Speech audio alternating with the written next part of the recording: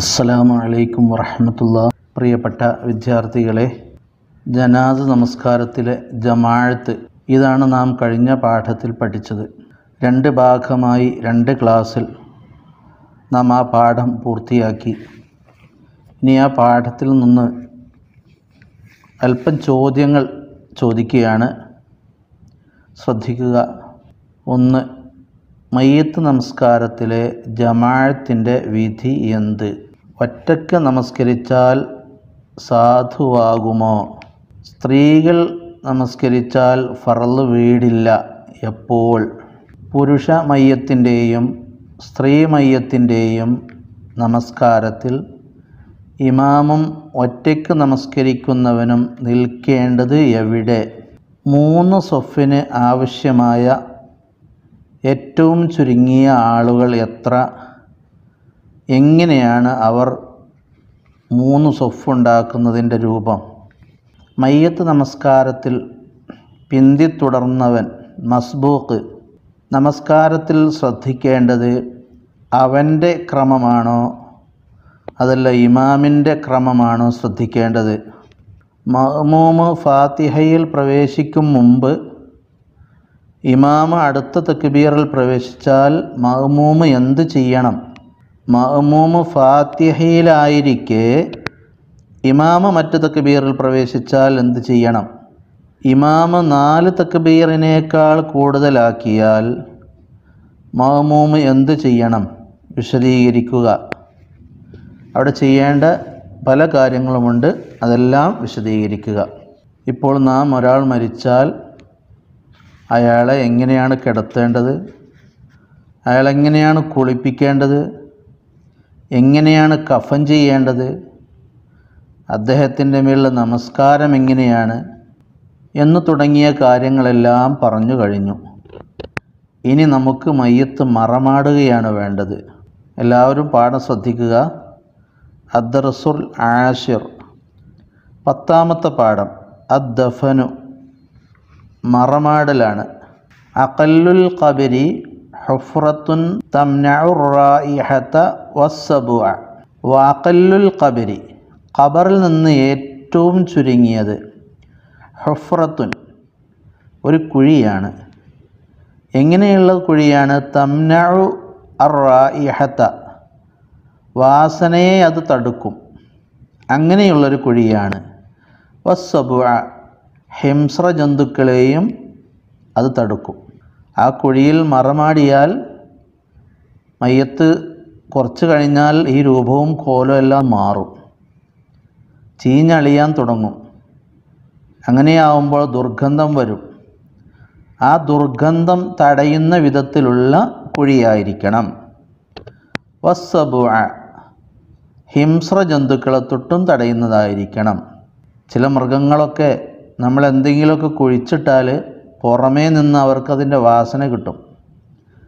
അങ്ങനെ ആ മണം കിട്ടിയാൽ അവരത് മാന്തും. അപ്പോൾ അങ്ങനെ മണം കിട്ടാത്ത വിധത്തിലുള്ള ആഴമുള്ളൊരു കുഴിയായിരിക്കലാണ് ഖബറിന്റെ ഏറ്റവും ചുരുങ്ങിയ രൂപം.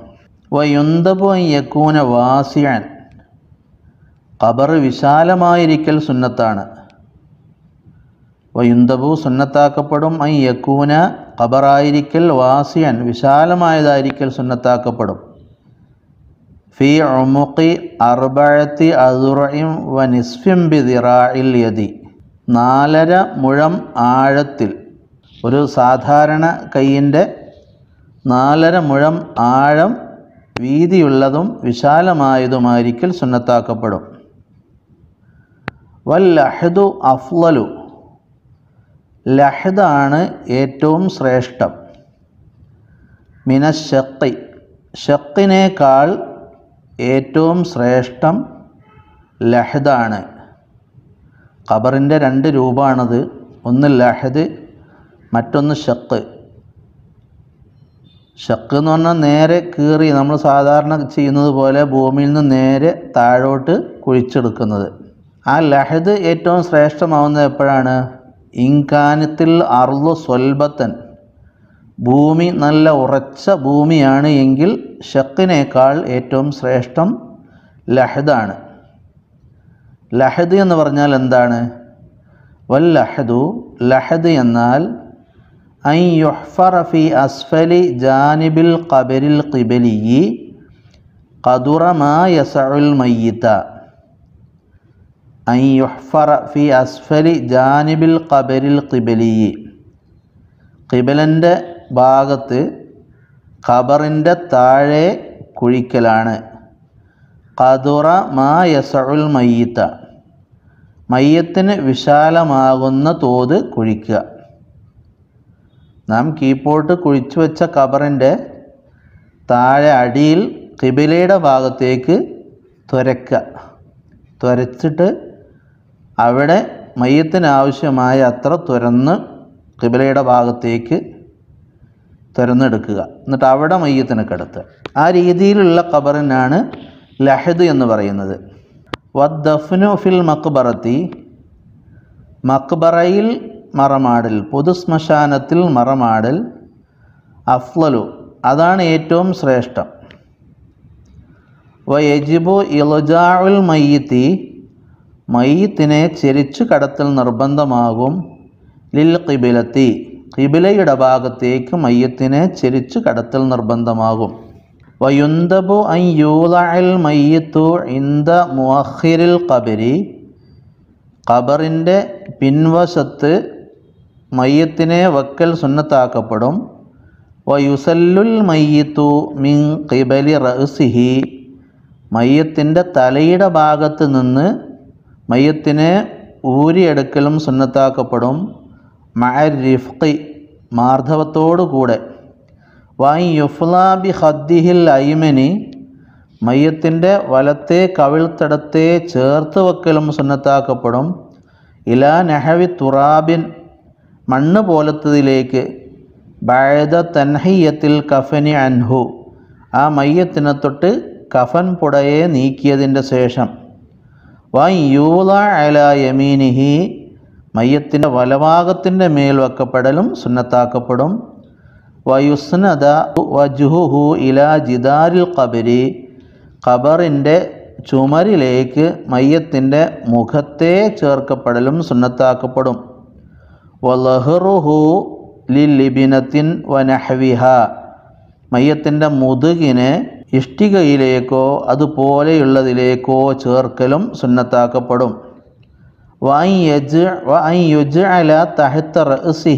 ലബിനത്തുൻ ഔ ഹജറുൻ മയ്യത്തിന്റെ തലക്ക് താഴെ ഇഷ്ടികയെയോ അല്ലെങ്കിൽ കല്ലോ വക്കലും സുന്നത്താക്കപ്പെടും.